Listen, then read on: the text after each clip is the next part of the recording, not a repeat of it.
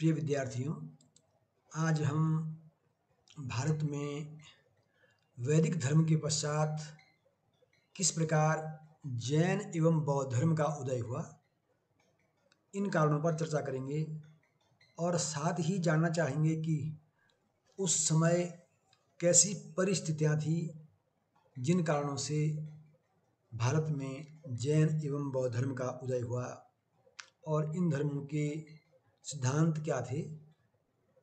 पहले हम इस बात पर प्रकाश डालना चाहेंगे कि किन कारणों से भारत में जैन एवं बौद्ध धर्म का उदय हुआ। सर्वप्रथम आपको यह समझना ज़रूरी है कि जैन एवं बौद्ध धर्म का जब भारत में उदय हुआ, उससे पहले संपूर्ण भारत में वैदिक धर्म प्रचलित था और वैदिक धर्म वही धर्म जो ऋग्वैदिक काल से भारत में प्रचलित रहा। सबसे पहले आपको थोड़ा ऋग्वैदिक धर्म की कुछ विशेषताएँ बता दूँ। ऋग्वैदिक जो धर्म था, जिसे हम वैदिक धर्म भी कहते हैं, वो एक प्रकार से सरल और आडंबरहीन था। उसमें कोई बहुत ज़्यादा कर्मकांड नहीं थे और न ही बहुत ज़्यादा आडंबर थे। न ही उस समय बहुत अधिक पुरोहित की आवश्यकता पड़ती थी धार्मिक कर्मकांडों के लिए। तो इस दृष्टि से जो वैदिक धर्म था, ऋग्वैदिक काल में जो धर्म था, वो अपने आप में एक सरल और आडम्बर युक्त आडम्बर मुक्त जिसमें आडम्बर नहीं था आडम्बर मुक्त धर्म था। परंतु धीरे धीरे क्या हुआ कि इस वैदिक धर्म में अनेक प्रकार की जटिलताएँ, कर्मकांड और कई तरह की इस प्रकार की बुराइयाँ व्याप्त हो गई, जिस कारण जो कर्मकांडों और आडंबरों का जो इसमें बाहुल्य रहा तो इस कारण इसका परिणाम यह हुआ कि धीरे धीरे आम जनमानस वैदिक धर्म की जटिलता से एक प्रकार से अपने को ग्रसित पाने लगा और वह इन कर्मकांडों की जटिलता के कारण इसके प्रति उदासीन होने लगा। अब ऐसी परिस्थिति में जो कारण उत्पन्न हुए उन कारणों से भारत में जैन एवं बौद्ध धर्म का उदय हुआ। अब हम ये जानना चाहेंगे कि वे कारण कौन थे, जिन कारणों से भारत में जैन एवं बौद्ध धर्म का उदय हुआ। इनमें पहला कारण था वैदिक धर्म में बढ़ती जटिलता। जिसे मैंने अभी बताया कि पहले वैदिक धर्म एक सीधा, सरल और आडंबर मुक्त धर्म था। परंतु उस समय इसमें किसी पुरोहित विशेष की आवश्यकता नहीं होती थी। और न ही कोई कर्मकांड या आडंबर इसमें था। उस समय क्या था कि जो पूजा पद्धति थी कि आप जो विभिन्न जो देवताओं की कल्पना या विभिन्न देवताओं की जो सृजना, रचना जो वैदिक काल में हुई, उनमें से सूर्य, अग्नि, मारुत जल वरुण, जो इन देवताओं की जो रचना हुई, इनकी जो एक कल्पना की गई, इनकी जो मान्यता स्थापित हुई तो इन देवताओं को की जो पूजन विधि थी या जो पूजा पद्धति थी, उसमें ऐसा माना जाता था कि अग्नि के माध्यम से जो भी आहुति इन देवताओं को समर्पित की जाएगी, अग्नि उन देवताओं तक उस आहुति को पहुँचा देगी। और इसलिए जब भी घर में भोजन बनता था तो सर्वप्रथम उसे अग्नि को समर्पित किया जाता था। और ये माना जाता था कि अग्नि जो है, जिस देवता के नाम से उस भोजन को उस आहुति को समर्पित किया गया है। अग्नि उस देवता तक उस आहुति को पहुँचा देगी। और इस तरह एक यज्ञ का एक सरल स्वरूप था कि अग्नि में किसी देवता के नाम से आहुति देना और उस देवता को उस आहुति का पहुँचना ऐसा विश्वास किया जाता था। तो इस तरह वैदिक धर्म में बड़ी सरलता थी। परंतु कालांतर में क्या हुआ कि जो अग्नि में जो आहुति देने की जो परंपरा थी या जो एक पूजा विधि थी, वो विधि जो है धीरे धीरे जटिल यज्ञों में परिवर्तित हो गई। और उसका परिणाम ये हुआ कि जो यज्ञ और कर्मकांड की बहुलता वैदिक धर्म में आई तो इससे क्या हुआ कि उत्तर वैदिक काल में आते आते यज्ञों का आकार विशाल होता गया। पहले जो मैंने कहा ना, जैसे कि पहले जो यज्ञ घर तक ही सीमित था घर की अग्नि में आहुति देकर के जो यज्ञ एक प्रकार से पूर्ण माना जाता था अब कालांतर में उत्तर वैदिक काल तक आते आते यज्ञों में जटिलता आ गई और यज्ञों का आकार विशाल हो गया। अनेक यज्ञ तो ऐसे थे जो महीनों और वर्षों तक चलते थे। इस कारण इनमें अत्यधिक धन और पशु या पशुओं आदि जो व्यय था उसमें क्या अत्यधिक व्यय हो, व्यय होने लगा और ये यज्ञ क्या हो गए? अत्यंत व्यय साध्य हो गए। जैसे इस प्रकार के यज्ञ कौन थे? वाजपेयी यज्ञ राजसू यज्ञ, अश्वमेध यज्ञ, ये कई लंबे वर्षों तक चलते थे। और इसका परिणाम क्या हुआ कि यज्ञों की जो यज्ञ विधियाँ थी, उनके निर्माण में भी जटिलता आ गई। वेदों का निर्माण, मंत्रों का पठन पाठन अनुष्ठान क्रिया इतनी जटिल हो गई कि इनके लिए विशेष प्रशिक्षित पुरोहित वर्ग की आवश्यकता होने लगी। अब पूर्व में था कि घरों में जो यज्ञ करने के लिए एक पुरोहित ही पर्याप्त होता था। परंतु बाद में कई पुरोहितों की आवश्यकता होने लगी तक सत्रह सत्रह पुरोहित जो यज्ञों में यज्ञ करने लगे। गृह सूत्रों में जो यज्ञ की परंपरा दी गई थी, उसमें ये था कि इन यज्ञों को गृहस्थ का धर्म घोषित किया गया, पितृ यज्ञ, ब्रह्म यज्ञ, देव यज्ञ, जो कि एक प्रकार से सांकेतिक रूप से प्रत्येक गृहस्थ को करने आवश्यक थे। परंतु धीरे धीरे इन युग में जो जटिलता आई तो वो यज्ञ जो है कई वर्षों तक होने लगी और बड़े पैमाने पर उनमें कर्म कांड का विस्तार हो गया, यज्ञ में पशु बलि दी जाने लगी और सब परिणाम क्या हुआ कि धीरे धीरे जन सामान्य वर्ग इन यज्ञों के, इन कर्म कांडों से क्या हुआ? उबने लगा और अब वो इससे मुक्त होने का प्रयास करने लगा। तीसरा जो कारण है बहुदेववाद का विकृत स्वरूप। यद्यपि वैदिक धर्म में बहुदेववाद की परंपरा रही है, जैसे आपने देखा होगा कि अग्नि, मारुत, सूर्य, पृथ्वी, ये तमाम जो है हमारे जो प्राकृतिक शक्तियाँ हैं, जिनसे हमें कुछ ना कुछ अर्जन होता है, उन सबको हम एक प्रकार से देवता मानते हैं। वास्तव में ये हमें ऊर्जा प्रदान करते हैं, धन देते हैं, हमें आश्रय देते हैं। तो इन, इनको देवता माना, ये जो प्राकृतिक जो देवी, दैवीय शक्तियों को हमने देवता माना, ये अपने आप में एक अलग परंपरा थी। हम ये कह सकते हैं कि हम उन प्राकृतिक शक्तियों की पूजा करने का जो एक परंपरा थी, वो अपने आप में सही थी। परंतु कालांतर में क्या हुआ कि जो बहुदेववाद प्रचलित हुआ, इससे ये हुआ कि जो प्रकृति की जो पूजा हम करते थे, प्राकृतिक जो देवता थे, उन देवताओं के स्थान पर ऐसा होने लगा कि कि अगर इन देवताओं की पूजा नहीं की जाए तो ये रुष्ट हो जाएँगे और अनिष्ट हो जाएगा। इस कारण क्या हुआ कि इन विचारों के कारण इन देवताओं की पूजा बड़े पैमाने पर यज्ञों द्वारा जटिल होती गई। पहले जो पूजा एकदम सरल स्वरूप में की जाती थी, बहुदेववाद के कारण उन विभिन्न देवताओं की पूजा एक जटिल स्वरूप बहुदेववाद के कारण विभिन्न देवताओं की पूजा अर्चना ने एक जटिल स्वरूप ले लिया और इससे भी आम जनमानस इससे विरक्त हो गया। ब्राह्मणों का प्रभुत्व भी जैन धर्म और बौद्ध धर्म के उदय के कारणों में एक प्रमुख कारण है, क्योंकि जो पूजा विधि थी, जो कर्म कारण था, जो यज्ञ थे, उनको संपन्न करने के लिए ब्राह्मण वर्ग की आवश्यकता होती थी। और इसका परिणाम क्या हुआ कि वैदिक काल में जो ब्राह्मणों का जीवन सरल, सीधा और सरल होता था, कालांतर में उनके जीवन में भी जटिलता आ गई। क्योंकि अब ये जो भी धार्मिक क्रियाकलाप थे, जो भी यज्ञ और कर्मकांड थे, वो ब्राह्मणों के द्वारा ही संपन्न किए जाने थे। इसलिए इन कर्मकांडों के महत्व के कारण कतिपय ब्राह्मण वर्ग में अहंकार व्याप्त हो गया और वो इतने अहंकारी हो गए कि वो आम जनमानस से कटने लगे। इसका परिणाम यह हुआ कि जो ब्राह्मणों की श्रेष्ठता थी, उस पर वाद विवाद आरंभ हो गया। इसका परिणाम यह हुआ कि धीरे धीरे ब्राह्मण वर्ग का जो प्रभुत्व समाज पर स्थापित हुआ तो अन्य जो तीन वर्ग थे, तीन वर्ण थे, वो इससे क्या हुए? उदासीन होने लगे। इसी का परिणाम यह रहा कि समाज में इन वर्णों का आपस में संघर्ष हो गया। वर्णों का जो आपसी संघर्ष था कि श्रेष्ठता के लिए संघर्ष, ब्राह्मण वर्ग अपने को श्रेष्ठ समझता था तो क्षत्रिय वर्ग अपने को श्रेष्ठ समझने लगा। क्योंकि क्षत्रिय जो राजकाज से संबंधित थे, शासन से शासक वर्ग था तो इसलिए वो अपने को ब्राह्मणों से श्रेष्ठ समझने लगा। यही नहीं वैश्य वर्ग जो था वो भी क्योंकि सम, समस्त व्यापारिक क्रियाकलापों पर वैश्य वर्ग का आधिपत्य था। तो इसलिए वैश्य वर्ग भी अपनी धन संपदा के कारण समाज में अपना विशिष्ट स्थान चाहता था। तो वैश्य वर्ग भी अपने को किसी से भी कम न समझने के और अपने को एक श्रेष्ठ समझने का प्रयास करने लगा या उसकी भी अपनी वर्ण श्रेष्ठता स्थापित हुई करने का प्रयास हुआ।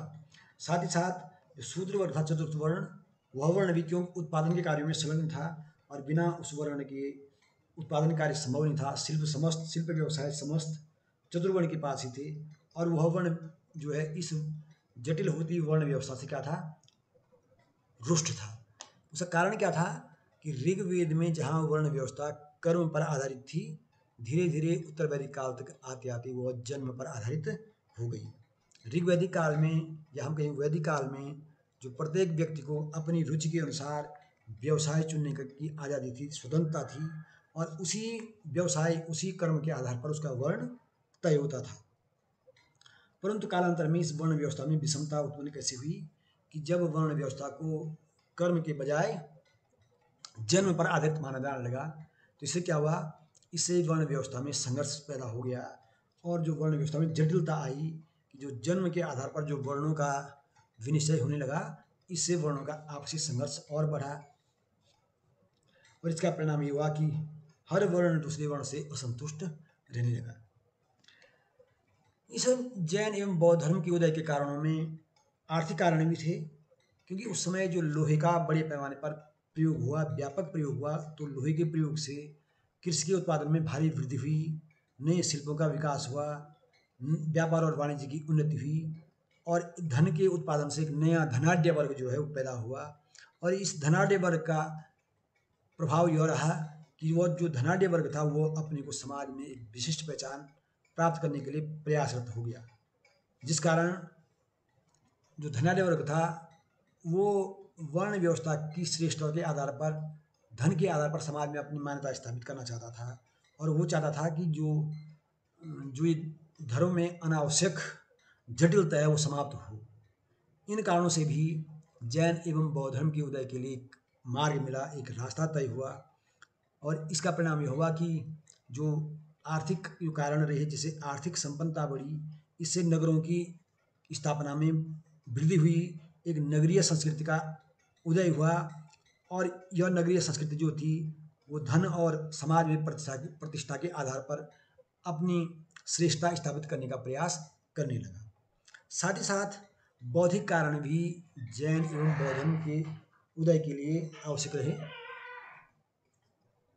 बौद्धिक कारण ये थे कि उस समय जो चतुर्वर्ण में था, ब्राह्मण वर्ग अपने को बौद्धिक दृष्टि से उन्नत समझता था।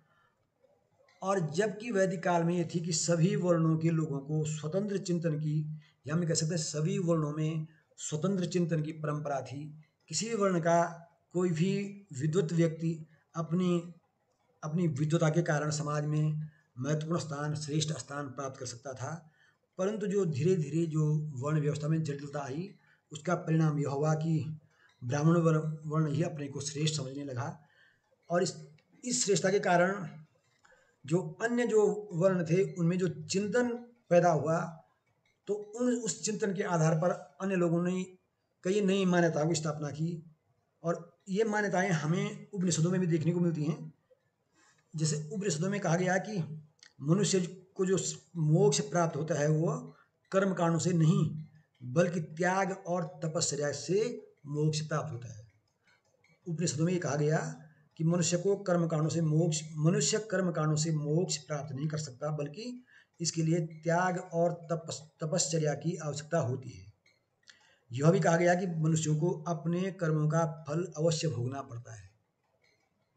इस प्रकार उपनिषदों ने जो निवृत्ति मार्ग तथा कर्म सिद्धांत स्थापित किया, निश्चित ही निवृत्ति मार्ग और कर्म सिद्धांत जैन एवं बौद्ध धर्म से पहले उपनिषदों ने यह सिद्धांत स्थापित कर दिया था।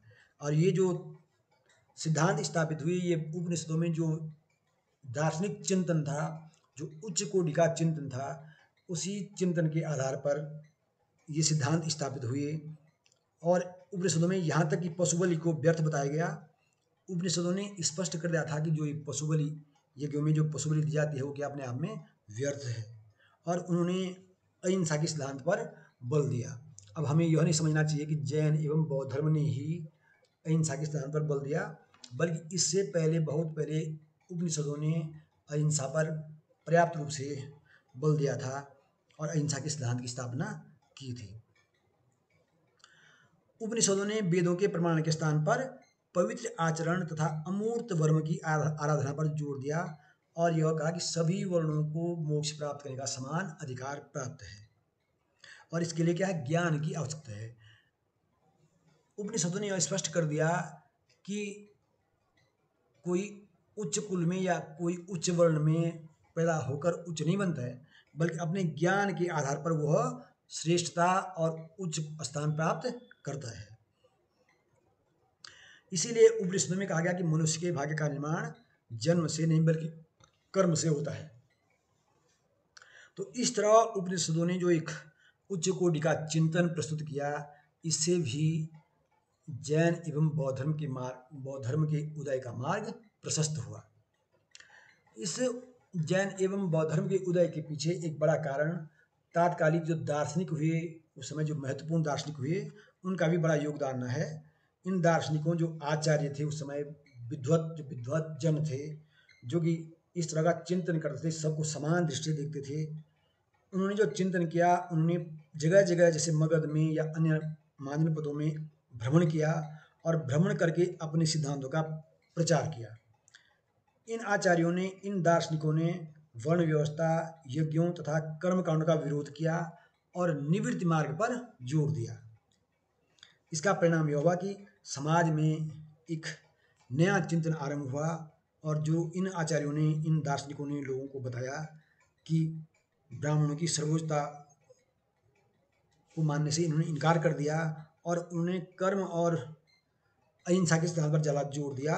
इसका परिणाम यह हुआ कि तात्कालीन परिस्थितियों में समाज में अनेक दार्शनिक, या हमें कह सकते हैं, अनेक प्रकार की मान्यताएँ प्रचलित हुई, जिनमें नास्तिक, संदेहवादी, भौतिकवादी, भोगवादी, नियतिवादी कई ऐसे संप्रदाय स्थापित हुए, जिस कारण क्या हुआ? समाज में एक नया चिंतन आरंभ हुआ। जो ये विभिन्न प्रकार के जो चिंतन आरंभ हुआ, उसका परिणाम क्या हुआ कि उस समय कई संप्रदाय अस्तित्व में आ गए।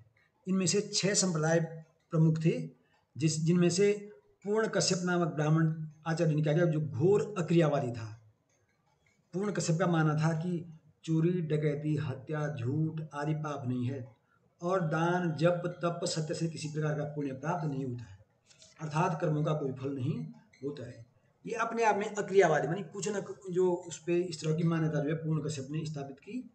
यद्यपि समाज में उस, इसको कितनी मान्यता मिली वो तो उस तत्कालीन परिस्थितियों पर निर्भर है। परंतु इस पूर्ण कश्यप का मानना था कि न तो इस तरह का जो मैंने अभी बताया कि डकैती, हत्या पाप, कोई पाप नहीं है और जान, दान दान जब कोई पुण्य नहीं है। ये उसका अपना मानना था। अब समाज ने इसको कितना स्वीकार किया वो अलग बात है। मखली गोसाल जो दूसरे महत्वपूर्ण विद्वान हुए, उन्होंने अलग से आजीवक संप्रदाय की स्थापना की। इस संप्रदाय का उल्लेख अशोक के अभिलेखों में मिला है। गोसाल की जो शिक्षा का मूल आधार था, वो था अक्रियावाद तथा नियतिवाद। गोसाल का मानना ये था कि प्राणी जो है नियति के अधीन है, उसमें न बल है, न पराक्रम। अर्थात अर्थात कि घोषाल का मानना ये था कि प्रत्येक व्यक्ति या प्रत्येक प्राणी अपने भाग्य के अधीन सुख व दुख भोगता है। इस तरह मकली घोषाल का था, नियतिवादी था। इसी प्रकार अजित केस कम्बलिन जो आचार्य था, वो नितान्त भौतिकवादी था। भौतिक सुखों में विश्वास करता था, भौतिक वस्तु में विश्वास करता था और उसका मत था कि पृथ्वी, जल, अग्नि तथा वायु से शरीर निर्मित है और मृत्यु के बाद कुछ शेष नहीं बचता है। अर्थात जो हमारा ये शरीर है, जो हम कहते हैं पंच तत्वों से जो शरीर बना हुआ है, बाद में मृत्यु के बाद ये उन्हीं पंच तत्वों में विलीन हो जाता है। इसलिए वो मानता था कि पाप और पुण्य तथा सत्य असत्य की कल्पना क्या है? झूठी है। अजीत जो एक अजीत का जो इस प्रकार जो अजीत केस कमलिन थे, उनका जो चिंतन था, वो लोकायत परंपरा पर आधारित था। लोकायत मीन्स इसका अर्थ ये हुआ कि इस भौतिक जीवन में सुख सुविधाओं का जितना उपयोग कर सकते हो, करो, उसके बाद कुछ नहीं बचता है।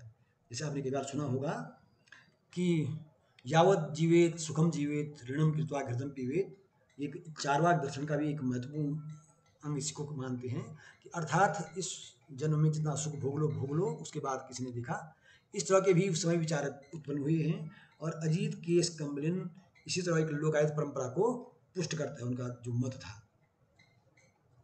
हालाँकि अनुसूति के अनुसार इस दर्शन के संस्थापक बृहस्पति माने जाते हैं। विद्वानी कहते हैं कि जो ये लोकायत परंपरा का चिंतन था, इसके संस्थापक बृहस्पति जो ऋषि थे, वो माने जाते हैं।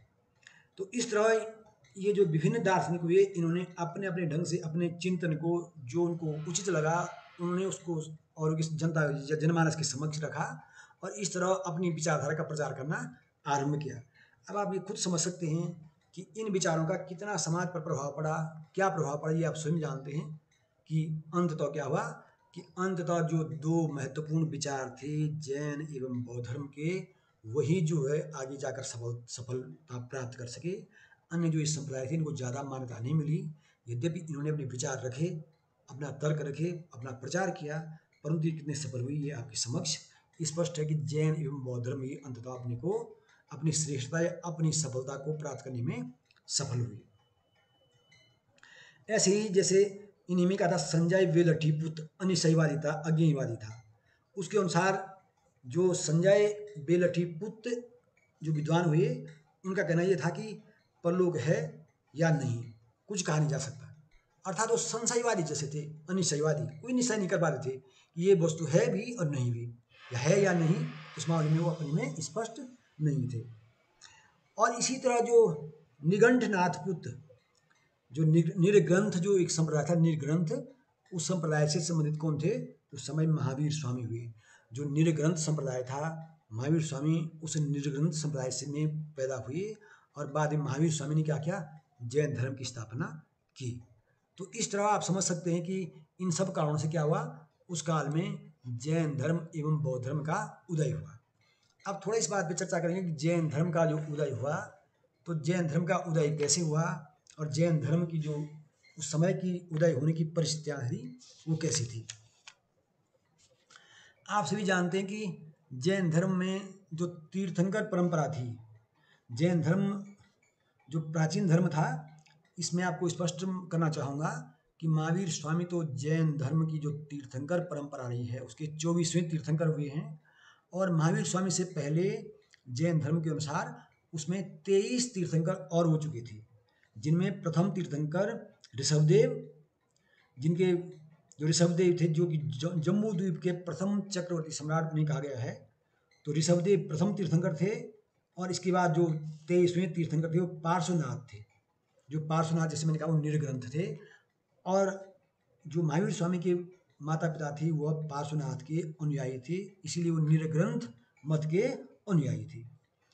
पार्श्वनाथ का जो समय था, वो महावीर स्वामी से लगभग 250 वर्ष पूर्व पार्श्वनाथ का समय माना गया है कि वो जो पार्श्वनाथ थे, वो महावीर स्वामी से लगभग 250 वर्ष पूर्व हुए जो भद्रबाहु चरित्र उसके में भद्रबाहु का जो कल्प सूत्र है, उसके अनुसार ये माना जाता है कि पार्श्वनाथ काशी के क्षत्रिय राजा अश्वसेन के पुत्र थे। ये जो तेईसवें तीर्थंकर थे पार्श्वनाथ, और उसके बाद चौबीसवें तीर्थ, तीर्थंकर कौन हुए? महावीर स्वामी। जो पार्श्वनाथ थे, पार्श्वनाथ ने अपने उपदेशों में चार सिद्धांतों पर विशेष ज़ोर दिया, अहिंसा, सत्य अस्त्य और परिग्रह। जो पार्श्वनाथ जो तेईसवें तीर्थंकर जैन धर्म के हुए उन्होंने मुख्यतः चार सिद्धांतों पर ज़ोर दिया, अहिंसा, सत्य, अस्तेय और परिग्रह। आप समझ सकते हैं इसमें ब्रह्मचर्य उस समय नहीं था। ब्रह्मचर्य जो बाद में महावीर स्वामी ने इसमें जोड़ा। पार्श्वनाथ के आठ गण और आठ गणधर थे और लगभग उनके सोलह हज़ार भिक्षु और अड़तीस हज़ार भिक्षुणी उनकी अनुयायी थी। इनको निरग्रंथ कहा जाता था, जो कि अपने को सांसारिक बंधनों से मुक्त समझते थे या वो सांसारिक बंधनों से मुक्त हो चुके थे। अब ऐसी परिस्थितियों में ढाई, दो सौ पचास वर्ष बाद जब महावीर स्वामी का निर्ग्रंथ संप्रदाय में जन्म हुआ, जो कि चौबीसवें तीर्थंकर थे जैन धर्म के तो महावीर स्वामी का जन्म, जैसे आपको पता है कि जो वजी संघ था, उस वजी संघ के ज्ञात्रिक कुल के जो राजा थे, उनके वर्धमान जो राजा थे, वर्धमान के घर हुआ, और ये सिद्धार्थ जो राजा थे, सॉरी वजी संघ के जो राजा थे सिद्धार्थ, उनके घर जो है, महावीर स्वामी का जन्म हुआ और महावीर स्वामी का बचपन का नाम क्या था? वर्धमान था। इनकी माँ माँ का नाम त्रिशला था, जो कि लिच्छवी राजा चेटक की बहन थी। चेटक जो समय वैशाली का राजा था। और ऐसा एक माना जाता है कि महावीर स्वामी का जब जन्म हुआ तो महावीर स्वामी का विवाह जो है, यशोदा नामक राजकुमार से हुआ। और उनसे उनकी पुत्री भी पैदा हुई, जिसे अनिजा या प्रिय दर्शना कहा जाता है। और बाद में ये माना जाता है कि महावीर स्वामी ने या वर्धमान जो उस समय उनका नाम था, उन्होंने अपनी अपनी पुत्री का जो विवाह किया, लेकिन कुछ समय बाद क्या हुआ कि वर्धमान को सांसारिक विषयों से विरक्ति होने लगी, वो चिंतन करने लगे और उन्होंने राजपाट त्याग कर समस्त सुखों का त्याग कर वो तपस्या में लीन हो गए। तीस वर्ष की आयु में उन्होंने जब गृह त्याग किया अपने बड़े भाई नंदी वर्धन की आज्ञा से और भिक्षु का जीवन अपना लिया। फिर वर्धमान ने कठोर तपस्या की और जब उन्हें कठोर तपस्या की तो इतने कठोर तपस्या उन्होंने की कि उनके शरीर के वस्त्र सब गल के, सब गल चुके थे। अब उनके वो शरीर वस्त्रहीन हो चुका था। दिशाएँ ही उनका वस्त्र थी। दिशाएँ मीन्स जो उन, आज जो दिशाएँ हुई, इसलिए उनको दिगंबर स्वरूप प्राप्त हुआ। उन्होंने जो बारह वर्षों तक जो कठोर तप किया, उसका परिणाम ये हुआ कि वो उनकी, उनके शरीर पर ग्रीष्म जाड़ा, वर्षा, कोई भी, वर्षा का कोई प्रभाव नहीं पड़ा। मानी वो इन प्रभावों से दूर हो गई, मुक्त हो गई या इससे ऊपर उठ गई। अब उनका शरीर इतना तप गया था, इतना कठोर हो गया था, इतना मज़बूत हो गया था कि उन पर न तो गर्मी का प्रभाव पड़ता था, न ठंड का और न ही वर्षा का। और इस तरह उन्होंने समस्त बंधनों को त्याग दिया, सांसारिक बंधनों को त्याग दिया। अपनी इंद्रियों पर उन्हें विजय प्राप्त कर ली। अब वे निर्ग्रंथ कर मैंने किसी भी प्रकार के बंधन से मुक्त हो गई वो। उन्होंने जब अपनी विजय, अपनी इंद्रियों पर विजय प्राप्त कर ली तो वे जिन कहलाए। जिन अर्थात जिन्हें अपनी इंद्रियों पर विजय प्राप्त हो। अंत में वो तेरहवें वर्ष में उन्होंने जम्बिक ग्राम के निकट जो ऋजुपालिका नदी थी, उसके तट पर साल वृक्ष के नीचे उन्हें कैवल्य प्राप्त हो। कैवल्य मीन्स ज्ञान। और जब उनके ज्ञान प्राप्त हुआ तब वो पूजनीय कहे, तब उनको अर्हत बनी पूजनीय माना जाने लगा। और क्योंकि उन्होंने अपने इंद्रियों पर विजय प्राप्त की, अपने समा, तमाम कष्ट समस्त कष्टों पर विजय विजय प्राप्त की, और इस इस तपस्या काल में उन्होंने जो वीरता दिखाई, इस कारण वो महावीर कहलाए। और महावीर कहलाए तो जो उन्होंने इन पर विजय प्राप्त की, वो क्या कहलाए? जिन कहलाए। और बाद में जिन से वो क्या कहलाए? उनके अनुयायी जैन। और इस तरह जैन, अब वो क्या उनका धर्म जो उन्होंने चलाया, वो क्या हुआ? निर्ग्रंथ से क्या कहलाए वो जैन कहलाने लगे।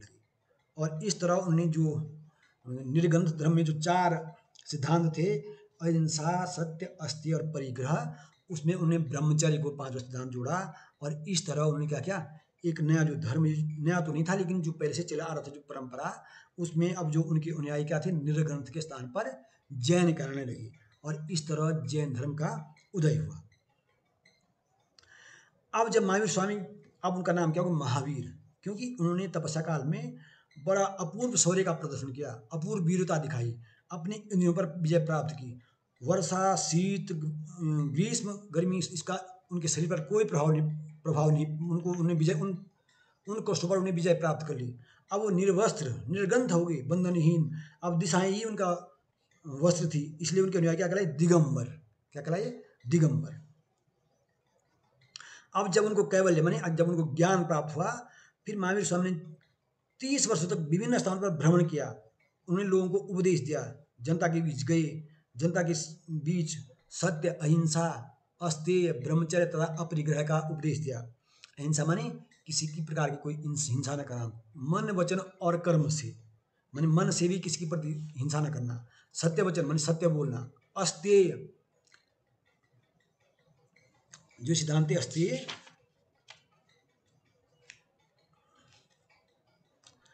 इसका इसका उद्देश्य ये था कि बिना किसी अनुमति के कोई वस्तु न लेना उसको कहते अस्तेय ब्रह्मचर्य। उसमें ब्रह्मचर्य का पालन करना और अपरिग्रह, आवश्यकता से अधिक वस्तुओं का संग्रह मत न करना। इन सिद्धांतों ने प्रचार किया और इन सिद्धांतों के आधार पर उन्होंने जो ये जैन धर्म के त्रिरत्न हैं, सम्यक दृष्टि सम्यक आचरण, सम्यक ज्ञान। तो इस तरह ने क्या किया? जैन धर्म की स्थापना की और जैन धर्म का प्रचार किया।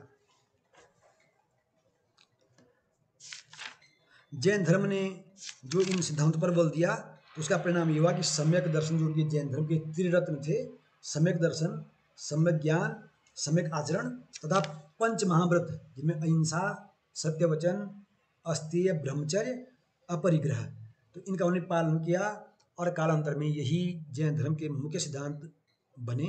भले इनमें काया क्लेश भी एक मुख्य काया क्लेश का भी अपना स्थान है, साथ ही साथ इनमें जो आत्मवाद है उसको भी हम दूसरे दूसरे अध्याय में हमें कहीं दूसरी वीडियो में उसके बाद उस पर भी चर्चा करना चाहेंगे। तो आज के लिए हम इतना ही काफ़ी है कि हम ये समझें कि भारत में किन कारणों से जैन एवं बौद्ध धर्म का उदय हुआ और साथ ही साथ जैन धर्म के उदय की परिस्थितियाँ क्या थी?